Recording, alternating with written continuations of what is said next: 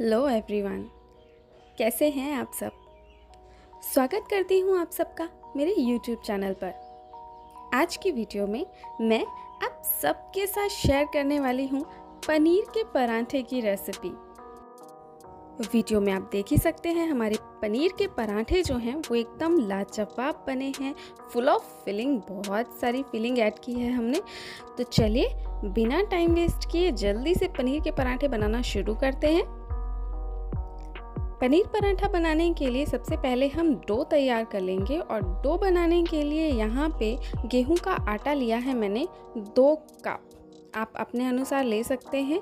अब इसमें हम ऐड करेंगे सॉल्ट वन टीस्पून बिल्कुल थोड़ा सा नमक ऐड करेंगे और साथ में वन टीस्पून ही इसमें हम ऐड करेंगे ऑयल जितना आप आटा ले रहे हैं, उसके अकॉर्डिंग आप नमक और ऑयल की मात्रा यहाँ पे कम या फिर ज़्यादा कर सकते हैं। तो सब चीज़ों को हमने अच्छे से मिक्स कर लिया है।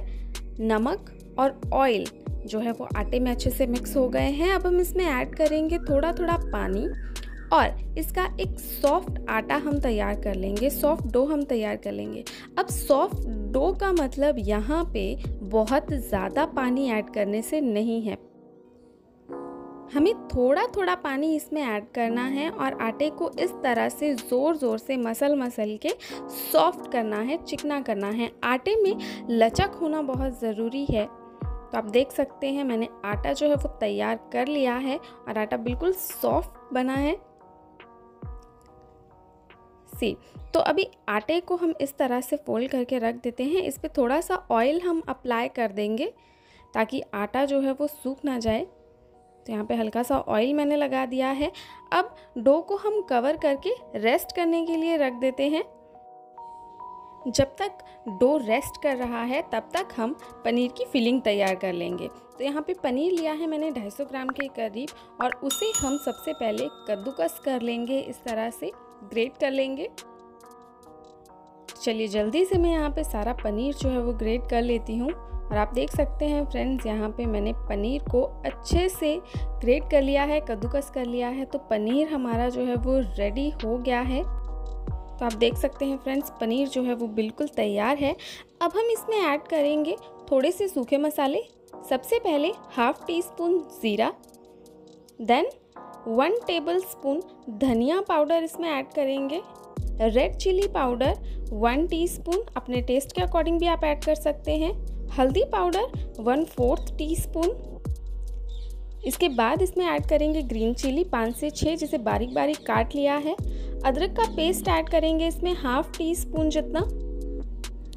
देन जीरे को हमने ड्राई रोस्ट कर लिया था और उसका पाउडर बना के वन टीस्पून इसमें यूज़ किया है। काली मिर्च का powder one fourth teaspoon आमचूर पाउडर वन टी स्पून नमक, आप अपने टेस्ट के अकॉर्डिंग इसमें ऐड कर सकते हैं। देन इसमें ऐड करेंगे ऑनियन तो यहाँ पे एक लार्ज ऑनियन ऐड करें मैंने और उसे फाइनली चॉप बड़े चम्मच। और अब इन सब चीज़ों को सारे मसालों को हम अच्छे से मिक्स कर लेंगे ताकि सारे मसाले जो हैं वो पनीर के साथ अच्छे से मिक्स हो जाएँ। अब मैं इसमें ऐड करूँगी थोड़ी सी अजवाइन हाफ़ टी स्पून लिया है मैंने। इसे ऐड करने से पहले इस तरह से हाथों में लेके हल्का सा क्रश कर लेंगे। इससे इसका टेस्ट बहुत अच्छा आता है। तो चलिए सारे मसालों को हमने अच्छे से मिक्स कर लिया है। और फिलिंग जो है, वो बनकर तैयार है। तो हम जल्दी से पराठे तैयार कर लेते हैं। डो चेक कर लेंगे। आप देख सकते हैं, डो जो है, वो बिल्कुल तैयार है। बिल्कुल एक से डेढ़ मिनट के लिए हम डो को अगेन इस तरह से नीट कर लेंगे। तो आटा हमारा बिल्कुल तैयार है, आप देख सकते हैं। तो चलिए जल्दी से पराठे बनाना शुरू करते हैं। तो आटे का एक पेड़ा ले लेंगे हम और आप देख सकते हैं जिस तरह से मैं आटे को खींच रही हूँ तो आटा जो है वो पूरा खींच रहा है। मैं इसी लचक की जो है वो बात कर रही थी। तो आप देख सकते हैं यहाँ पे मैंने एक बड़ा सा पेड़ा जो है वो ले लिया है। इसे हम डिप करेंगे, आटे में अच्छी तरह से कोट करेंगे। अब इस बॉल को हमें शेप देनी है एक कटोरी की तो अपने अंगूठे और फिंगर की हेल्प से हम इसे एक बोल की शेप देंगे, कटोरी की शेप हम देंगे, जिसमें हम इजीली फिलिंग जो है वो रख पाएँ फिल कर पाएँ।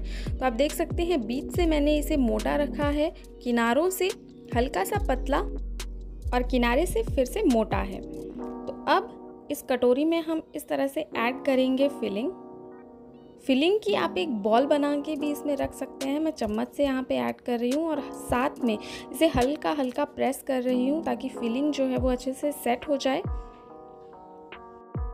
आप देख सकते हैं फ्रेंड्स, यहाँ पे बहुत सारी फिलिंग जो है वो इसमें मैंने ऐड की है और साथ में हल्के हल्के से इसे प्रेस करते रहेंगे।